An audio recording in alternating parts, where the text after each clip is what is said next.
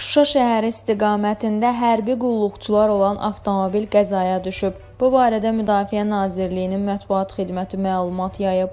Bildirilib ki, hadisə yanvarın 12-sində baş verib.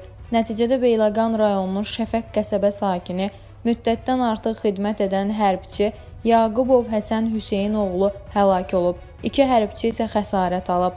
Faktla bağlı cinayət işi başlanılıb, araşdırma aparılır. Qeyd edək ki, həlak olan hərbçimiz Maxi Həsən Yaqubov Cəbrayılın azad olunmasına görə medalı ilə təltif edilib.